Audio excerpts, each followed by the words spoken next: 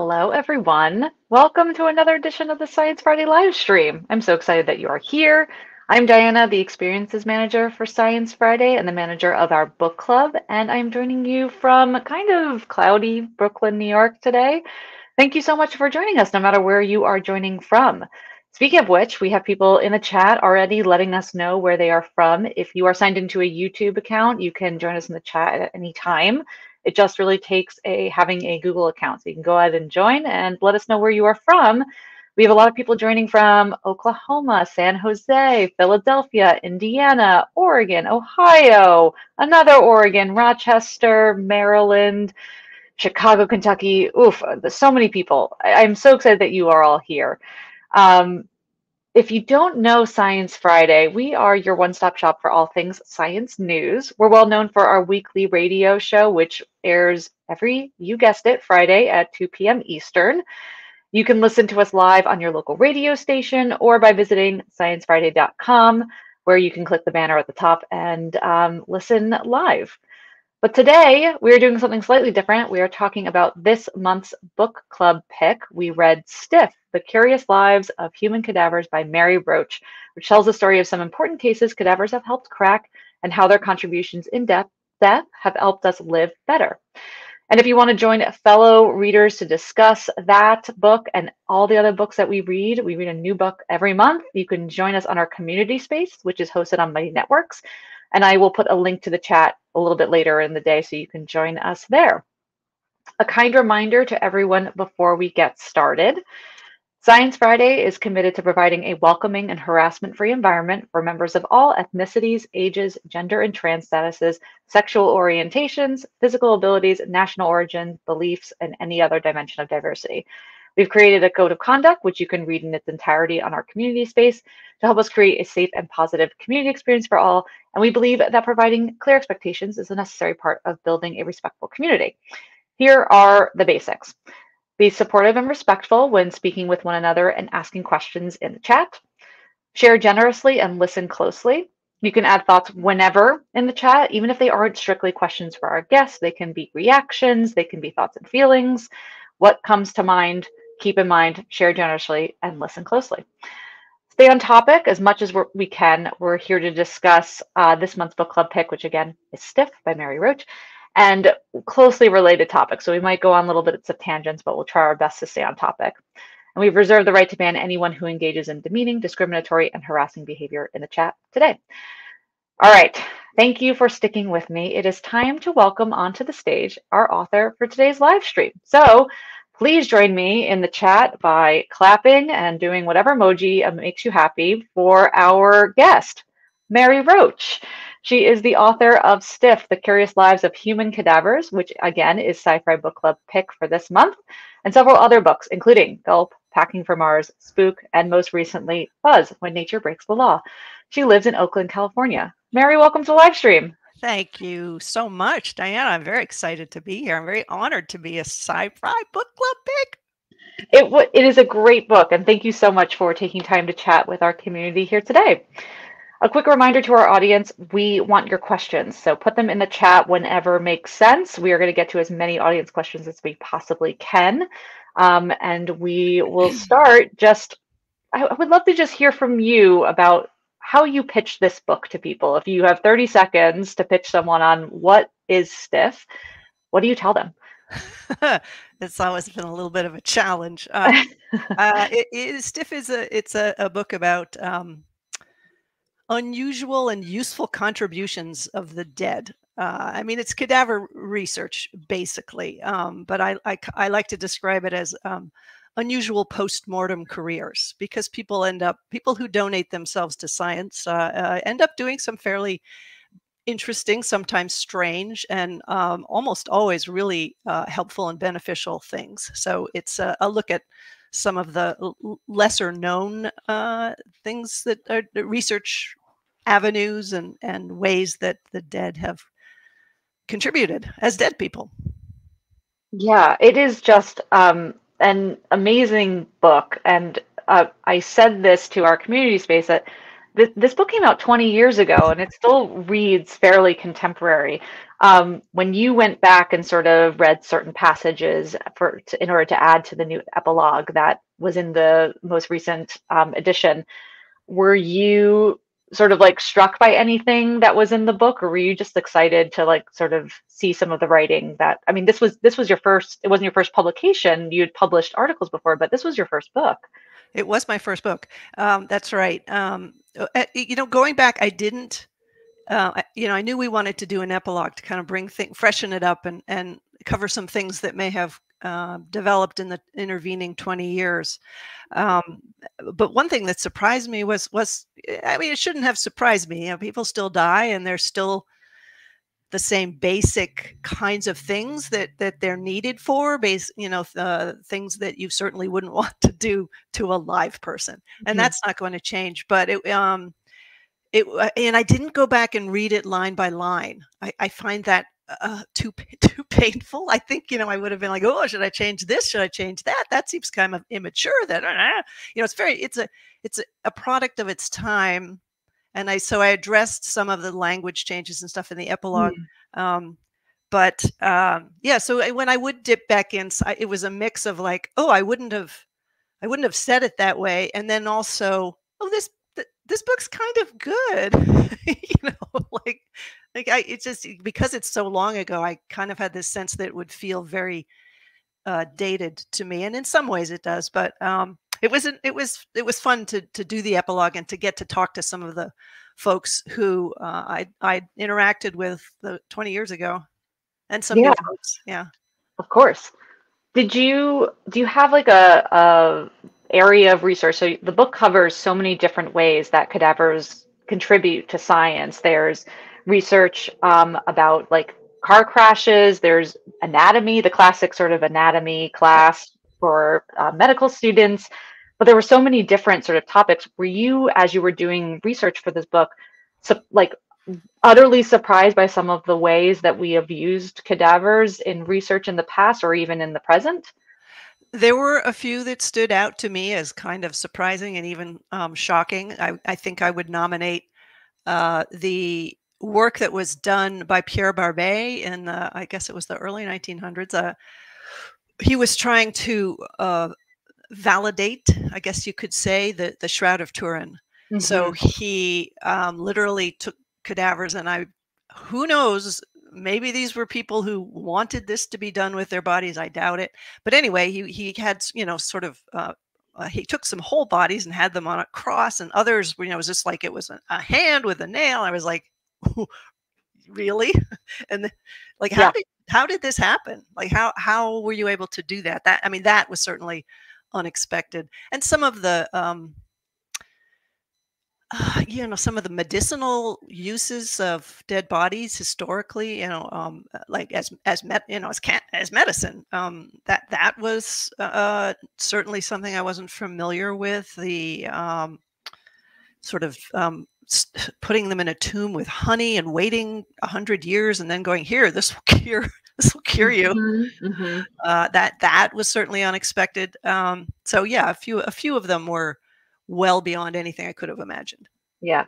E- even with all of the sort of outliers, the the sort of like on the far end, you you say in the book, you know, 70, 80% of people who donate their bodies to science, the sort of general science, their yeah. their bodies are used as part of anatomy classes. And um, and so there's a, there's a large percentage of people who you know who kind of have a probably have a very clear understanding of how um, their body will be used when they're when it's donated um, and it and your book sort of explores all these other possibilities which i think was yeah. really cool um, would it be accurate to say that you wrote this book partially to convince people to consider this as an option sort of after they've passed it would be accurate to say that if someone reads the book uh, and makes that decision, I'd really like to, to, to do something useful and helpful with my remains. That's the best possible outcome for me. Mm-hmm. But it mm-hmm. wouldn't be accurate to say that that was my motivation. My motivation was I'd like to write a book. I've been doing shorter pieces. It feels like everything's been written about. Um, and what what has what not been written? Mm-hmm. Look, mm-hmm. nobody's nobody's done this one. I'll do I'll do the cadaver one. so it was it was and it was um, it was also partly came about through a conversation with uh, a, uh, an agent who's still my agent because uh, saying you know you should maybe explore this was a topic i'd written about in a column on salon.com mm-hmm. and he's he's like why don't you see what had the highest hit rates why don't you explore this and i'm like this is a terrible book idea this is no one who would buy this book or read this book or like this book so uh it, it yeah it was i didn't i didn't have a mission to um increase the ranks of uh, body donation, willed body donation. It was more just um, maybe people would find this interesting. It turns out um, many people did. and your book, you know, having a sort of a second printing of the book too is just like you. I, I love the sort of array of different covers that come with this new, you know, paperback printing.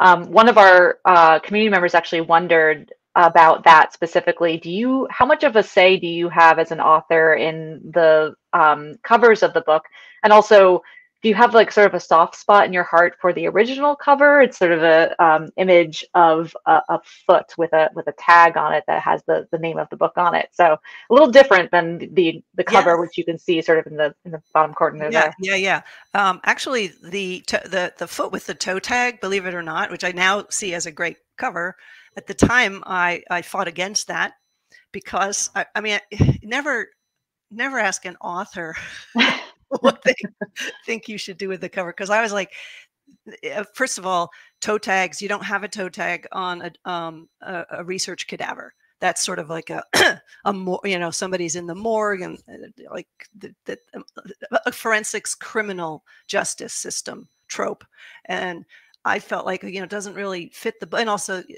the um, the image felt to me because it was around the time the Six Feet Under came uh, onto mm. Into popularity, and it felt a little reminiscent of that. And so I was like, oh, I don't think you should do this. And fortunately, my publisher's like, well, you're an idiot. um, there are certain people who have certain jobs, and you you have to listen yeah. to the people who say they've got a good idea. Exactly. Um, and there was an earlier. We it's a kind of a long story, but there was a very weird first. I don't even have a copy of it. The advanced readers edition had this weird. It was like a naked dead guy, apparently dead, like face down typing.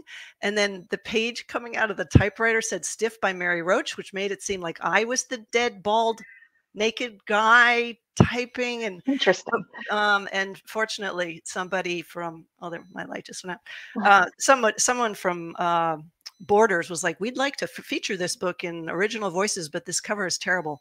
So then they did the feet, and mm-hmm. uh, and that you know, it, it's a good. I like that cover, but I'm very. I like my favorite is the new one, the the one that's here on the screen that. yeah it's a it's a great cover and it's so it's nice seeing all of the paperbacks sort of lined up matching yeah the whole, sure can join back, that the whole backlist is the same designer and it's yeah I, it's it's been really exciting to have that yeah a lot of our readers mention the sort of like levity and sort of irreverence and humor that you use as part of this book but also that that you know carries through in your writing style throughout your other books.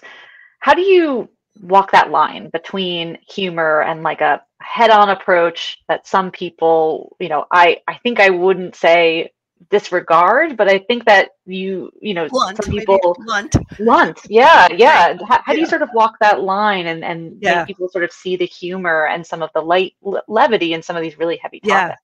Yeah um, that's something i actually struggle with a lot um, like where do you draw that line and um, i don't know that i always draw it in the right place. I mean, when Stiff, when I first turned in Stiff, um, it didn't have the uh, the forensics of airplane crashes. It didn't have that chapter because even though it was in the book proposal, mm. uh, I didn't do it because I just didn't feel like there could be a way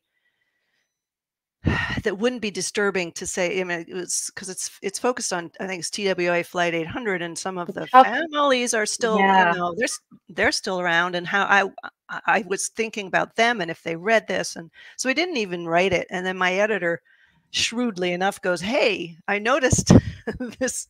That the plane crash chapter isn't here, and I explained it to her, and she said, "You know what? I think you should give it a try."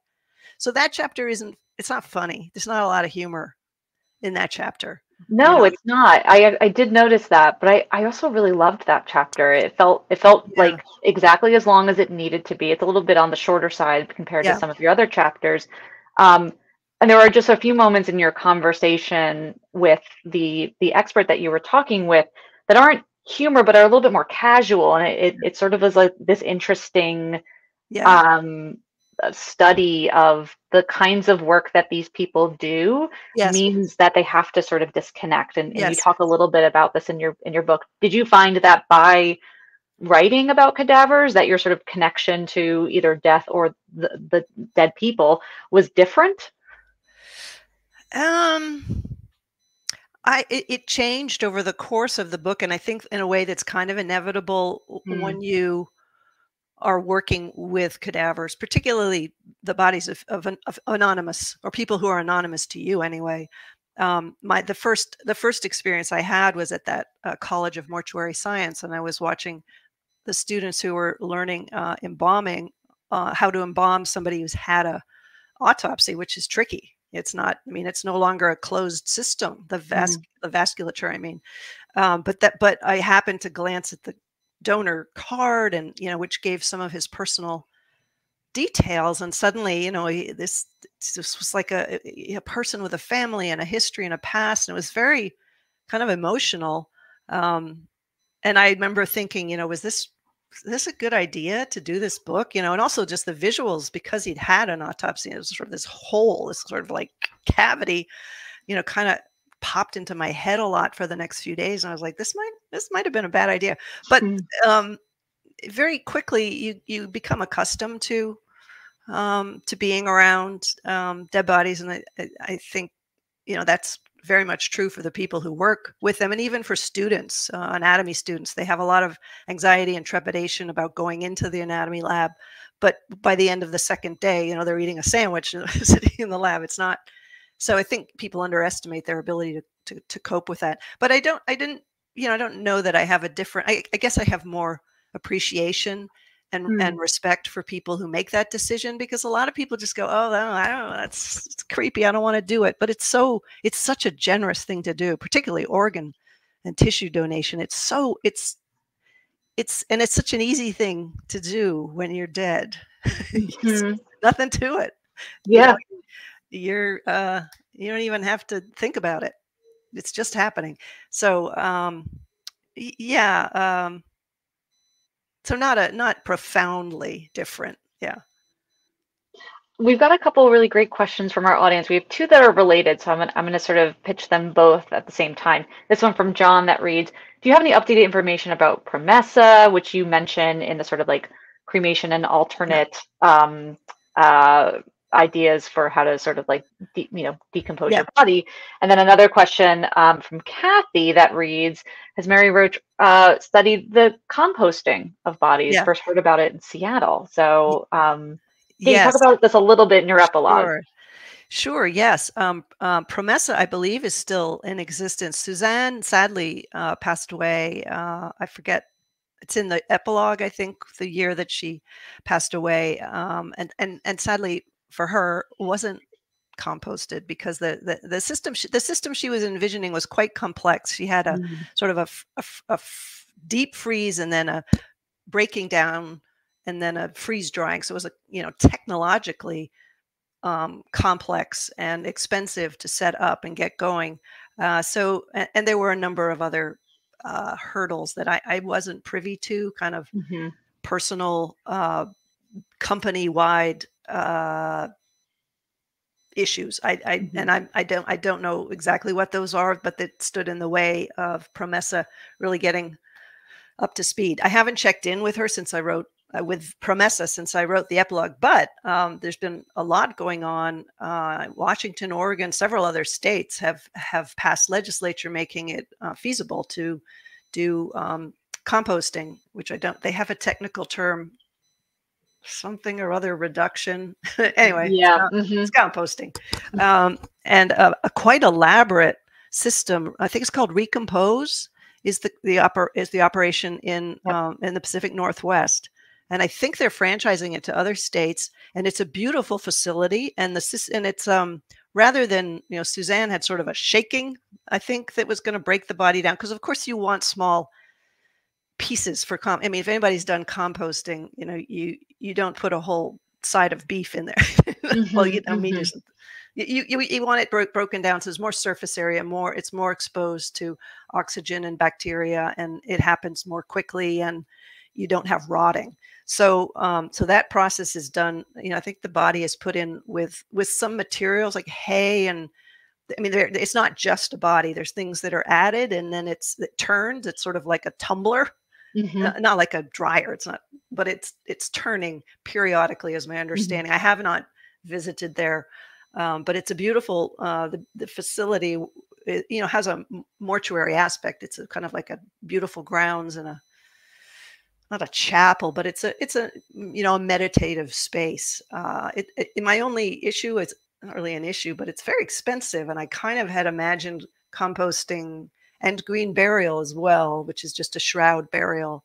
I kind of imagine those as being um, less expensive than the traditional, very expensive coffin embalming funeral home option. Uh, so they're a little they're a little surprisingly expensive, but anyway, it, it's it's it's really interesting, and I think it's. I'm not surprised that it that it has had um, the success that it's having because I would hear from people after the book came out, uh, people wanting to know uh, is Promessa up and running and can I do this? How do I do this? It really appeals to people to the idea to be taken up by a plant uh, uh and and to kind of give back to the earth, the, you know, which was really Susanne's vision. She wasn't interested in mortuary science or even death. She was about the environment and giving back and composting. And for her, it was a natural offshoot of that.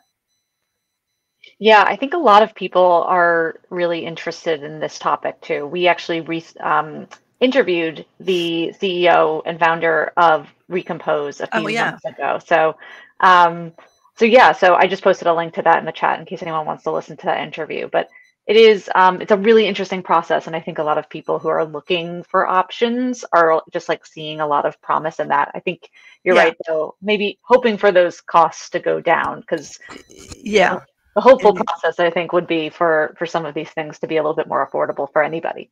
Yeah yeah but it's nice it, it does feel um you know it was time for there to be an update in terms of options when people die you know the whole embalming coffin funeral home i mean it's fine This it, it's an option but it felt like there, want, there wanted to be another particularly with an, the environmental element of it was i think appealing and and it was time for that yeah um We've got some great questions from the audience. I'm going to go to another one from Jazz. It reads I would love to know what the process was like writing your first book and getting it published, given its unique subject matter. You talked a little bit about this, but what was it like yeah. trying to convince people that this was a good idea? Yeah. Um, well, the, the process of um, it was surprisingly easy to to sell this book. Uh, um, my agent did a good job of that. I, you know, like I said before, I was of the opinion that this was a terrible idea with a limited market. Uh, and um, it turned out that wasn't the case. That one thing that I mean, a number of things helped this strange book find its way mm. into to press. Um, one was that around that time, Six Feet Under was very popular, and so was CSI. So you turn on the television back when that's what you did turn on the television. There would be bodies on slabs and there would be people talking about these things and so the taboo kind of had eroded a little bit um, and so the timing was good in that sense i think um, and i nonetheless i mean i sold them. Also my editor had just come off the success of the, this book called the undertaking by the poet and undertaker thomas lynch which was a, a success, very successful book. I mean, he's a lyrical, beautiful writer, and he's also a mortician, and wrote this um, lovely book. And and so she was thinking, oh yeah, this death thing seems to seems to work. Let's take a chance on Mary Roach. So um, so it wasn't particularly hard to sell it, um, but the the writing of it for me because when you when you when you get a book contract you're sort of turned loose for a couple of years like okay see you in a couple of years do something fantastic and i yeah i didn't know i i was like this I don't know what I'm doing. I didn't know, you know, the tone. I just went ahead with the tone that is me. Uh, but it felt sometimes like, is this going to be disrespectful, offensive? Is it is it too much? And I thought, oh well, I'm not worried. In that my editor will come in and she'll strip out anything that's over the top. But she really didn't take stuff out. So uh, that I think we just sort of crossed our fingers and put it out there with no real idea who it was going to appeal to, what the demographic would be. Um, but but publishing a first book is both incredibly liberating because you just go wherever you want to go. You follow every, go down every rabbit hole you want to, but at the same time terrifying because you don't know who you're writing for. You don't know who your audience is. You don't know if you're doing a good job. You don't know how to organize it. Um, so there's a lot of I, a lot of times where I just wake up in the middle of the night going, I am so screwed. I don't know. I don't know what the heck I'm doing. So that was kind of what it was like uh, to write that book. Yeah, it sounds like a wild ride. And did you find that that process got a little easier as you went along, or has it just been a different experience each time writing about like a, yeah. a sciencey topic for people who either need to see a different perspective or maybe don't think very much about the topic? Um, it's it's easier. It's definitely easier. Um, one thing that's easier is now that um, now that more people are familiar with me. If you happen to, you know, you approach because you're off, you spend a lot of time approaching researchers, just cold emailing them. Oh, yeah. hello, I'm Mary Roach. Blah, blah. So when somebody goes, "Oh, I'm familiar with your work," that's just it's so much easier because like, okay, you mm-hmm. know what I do, you know what I'm looking for, it's a so it's an easier conversation and it's uh, so that's gotten easier and i still spend the first six months just kind of flailing you know kind of not knowing what the book is really about and what's going to go in it um, there's usually something that i go and report and end up leaving out uh, so so i you know i can't say i'm you know it's it's it's never a streamlined process it's definitely gotten easier yeah Speaking of, so let's we'll stay on sort of writing process and style for a little bit. Um, in your book, you in Stiff, you described Thomas Edison as a loopy individual, which I was just like, I don't remember that. Yeah, I never thought of him that way. But you you know you talk about some of his sort of out there ideas, and in in addition to like yeah. being an incredible creative and you know yeah. science ingenuity, you you give him a pat in the back as well. But in your time interviewing experts about science of death, yeah. digestive system, war, sex, ghosts, animal lawbreakers. There's just so many topics. Has your way of writing about those people, the people who might be on the fringes, has that yeah. changed over the years? Yeah, I, I, um, I, I try to. I'm much more aware of um, wanting them to be happy with how they're described. I still feel bad about. There's a guy in Spook, my second book, and I described him as having sloping shoulders. And I'm like, why did I say that? That's not very nice. I mean, I don't, I mean, it's true. He had very sloping shoulders. But now I try, I really go out of my way to um, emphasize the, and I'm talking in terms of physical looks. I mean, I always like to describe a, a person as well as the setting, just so the reader ha- can visualize what they're reading. So I've, I've gone so far that uh, with Grunt, I think I described a lot of um, the, there were a fair number of military men and some special operations guys, uh, and I I describe them as I mean, they're all they're really fit and they're handsome, and I so there's I got this. There was this reviewer for the Washington Post who accused me of having crushes on all these men in in the military, and I'm like, I'm 60 plus years old. I'm like, no, that's not what's going on. I'm, I'm, just trying to be positive in my descriptions. But, um, and I, I just, yeah, I've gotten more careful about that. You know, I think, I think writing 20 years ago is more of a, more of a process from the id and, the, mm. and now the super ego is, you know, I'm, I'm definitely edit, trying to edit myself and think a little bit about, um, you know, when I write something, who might be reading this? You know, instead mm-hmm. of just picturing sort of like, you know, in being John Malkovich, where in the restaurant everybody is John Malkovich. You know, mm-hmm. my, uh, mm-hmm. my original approach was just like writing for a bunch of Mary Roaches, mm-hmm. and yep. And I think you know now I I try you know I try to keep in mind that people are coming from other perspectives, and I don't know, just have more of a sensitivity. Like yesterday, just yesterday, I was um writing up a conversation I had with a researcher from Tennessee whose name is Jim Crow. I'm, I'm like, Mary, leave it alone. Yeah. Just leave it alone. Everyone will get there together and yeah. we can talk about the research. Yeah.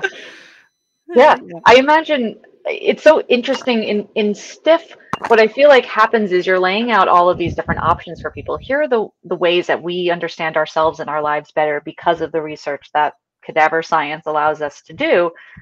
And at the end of the book, I, I wouldn't say you make an about face, but you do mention to people like there was a person you spoke with who said, and you agreed with them, at the end of the day, the, the people who have to deal with this decision that you make are your family. Like they, they have to carry out your last yeah. wishes. And so you do have to consider them in that process, talk to them, see what makes sense for their mm-hmm. sensibilities, yep. their spiritual beliefs, their, you know, belief in science. And so yep.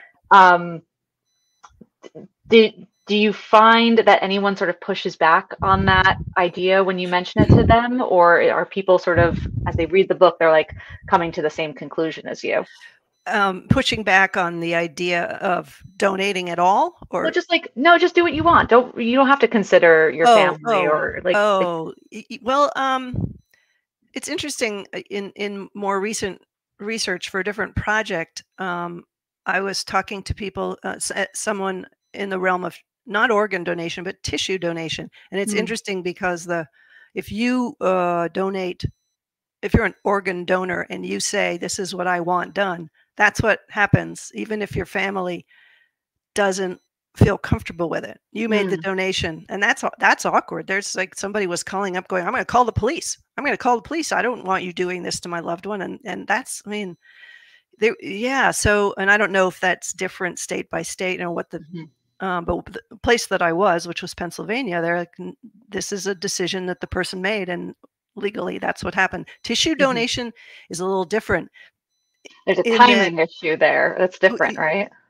Well, there's a timing issue with organs as well. Um, yeah. But but with tissue donation, if the per, uh, there's a long list of questions that have that that the um, the family member has to answer in order for the person to be cleared to donate, so that mm. there's not infectious diseases or you know various things that would put the recipient at risk.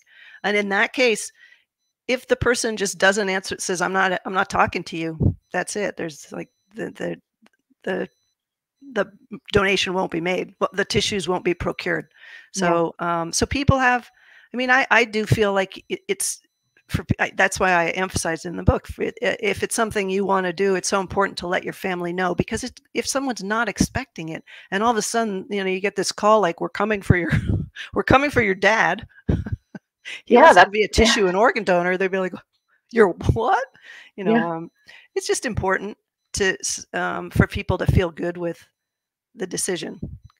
Yeah. On the other side, we have this question from Wendy who asks, like, I don't know if you've addressed Gila controversy. You don't talk about this too much in the book, no. but um, the the idea of consent. And so, yeah. like, do you have a perspective, or as you were reading or writing this book, yeah, was there a, a thing you wanted to make clear about the whole like the being consent, used without yeah. your consent? Yeah, yeah, yeah. That's that's um that's really been, especially in the past year or so, um, the stuff going on at the Mutter Museum, which has um, specimens mm-hmm. that have unusual medical afflictions, you know, either to the skeleton or preserved pieces of the body.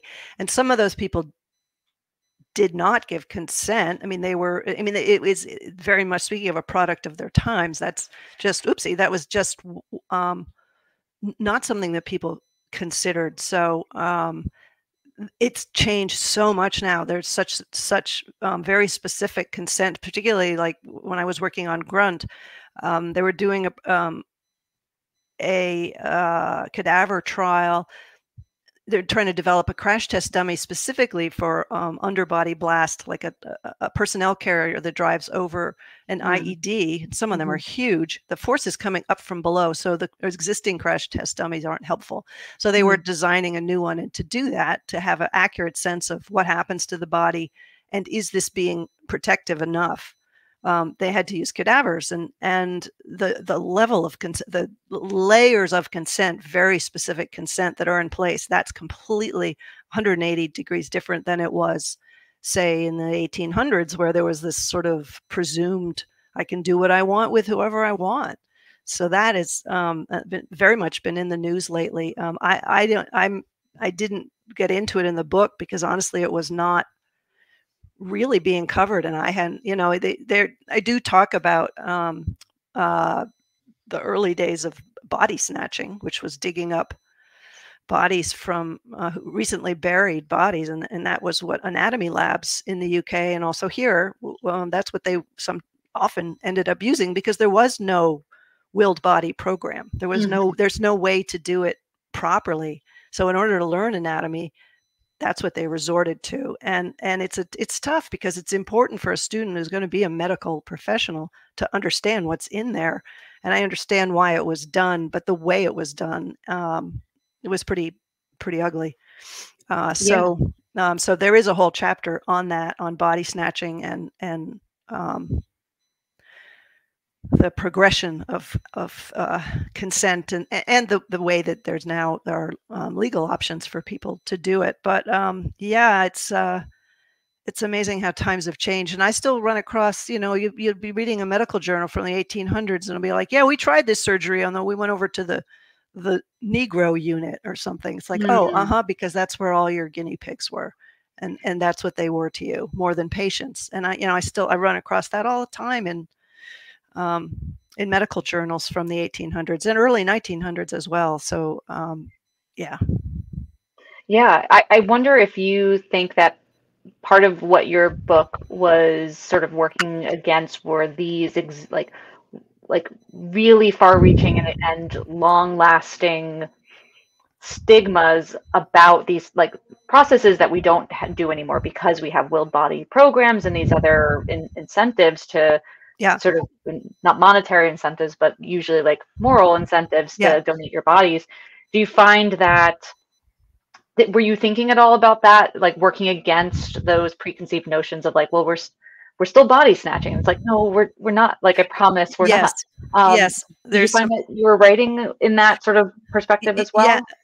Yes uh, in particular with um, organ donation there's a mm. persisting I don't, I don't know if it's an urban myth, but myth or belief that um, if you're an organ donor, that's whoever on the emergency medical staff or in the ER or the OR, they're go- they're more likely to just let you die so they can get your organs, which just isn't true, and it's surprisingly persistent that myth. Um, and and so yeah, that was definitely something I was working against. And and I do, you know, I, I try to I just try to encourage people wherever I can to uh, to sign up for. You know, if not tissue, if you know tissue donation, if you're not comfortable with that, but organs. I mean, that's just surgery.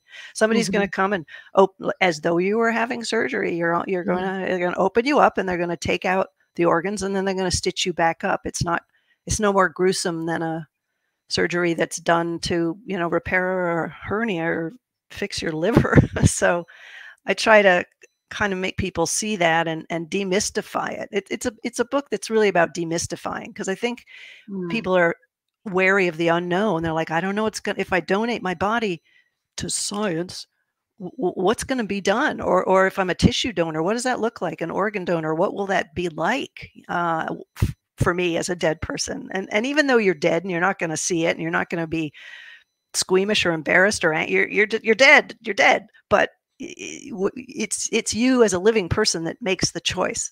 And yeah. so for for me to just make it just like straightforward this is how it goes and this is what it achieves and this is why you might want to consider it. That that's definitely what the book's about. Yeah. We had a question sent in via audio from one of our book club members. I'm going to play it here for you now. This is lisa calling from oakland california. Mary how, dif, if at all, did your research for STIFF affect your own ideas about death and what you plan for your own cadaver? Have you oh. continued oh. to evolve your ideas and your plans as you have lived another 25 years? Thanks. Thank this you. Lisa calling. There we go. Um, yeah. So, how have your ideas evolved in the last few years since you've written the book? Um, I'm kind of embarrassed to say this, but um, I am still inclined to donate because I feel like I wrote this book. I really it'd be it'd be shameful if I didn't, and I have I still have the papers, but I haven't signed them yet. Partly because there's part of me really still likes the the tradition of I mean, not necessarily the process of cremation and the mm-hmm. pollution that it causes, but the, you know, the the the final disposition of cremains uh, in in a in a place. The, the sort of the ceremony of that, and that you know why I don't know why that's a sticking point for me, and mm. I do think that I'm I am going to donate and it's still it's one of those things of like well you know what makes me think i've got an infinite amount of time to make that decision i really ought to just send the papers in. I have them for God's sakes. um, but anyway, when you when you tell people that, do you find that they're surprised that that's the that's where you are in the process right now? Do you think that they anticipate that you've you've made your plan or? Well i never tell people because i'm too embarrassed i haven't I gone ahead.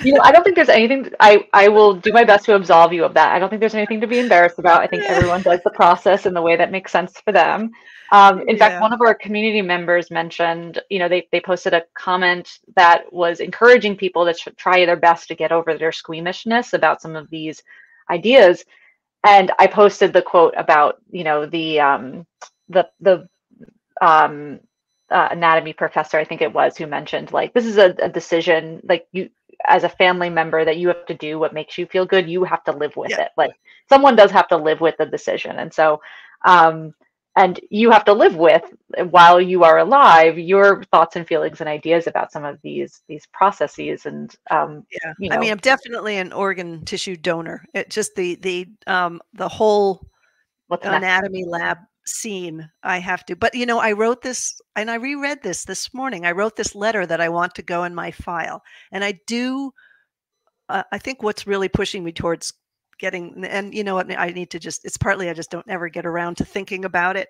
Um, but I do like the image of whoever that medical student, those medical students are who get me reading mm-hmm. that letter. Uh, I, I, like that. I like that idea of. Um, I just like picturing that scene happening after I'm gone. Yeah. You you talk a little bit about those memorial services that anatomy departments do after a semester, after a year of working in um, these anatomy labs. Um, and you, in your epilogue, mention that it's much more widespread. Um, yes. does, that, does that kind of give you hope for the continued evolution of our ideas around cadaver and cadaver research? Yeah, I think, and I absolutely loved. There's that one school where there's a um, a brunch, I think it was, or a lunch, where mm-hmm. the medical students sit down with the family members of the person who they're about to dissect.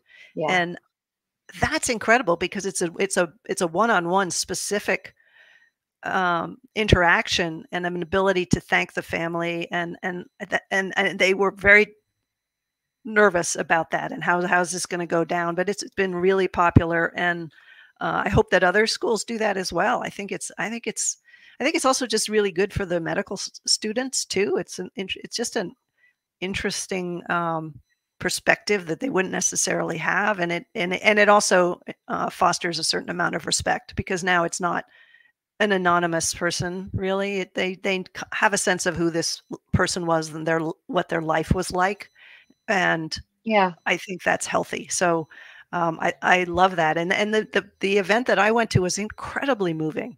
I mean, there everyone was choked up. It was the the things that the students had written or performed. Some of them performed songs. It was mm-hmm. really moving. And I walked. I remembered specifically crossing the street to go back to my car, thinking I am definitely going to donate.